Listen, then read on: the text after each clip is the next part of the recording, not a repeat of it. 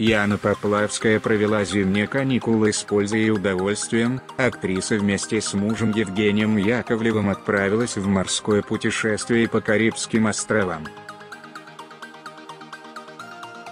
Старт был дан на солнечной Мартинике.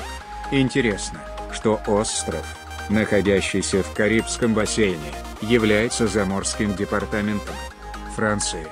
В течение 10 дней Яне также удалось посетить живописные острова Сент-Люси и Сент-Винсент, каникулы актрисы прошли насыщенно. Если бы вы знали, как я хочу обратно. И чтобы муж поднимал паруса. И пальмы, океан, птицы, дельфины.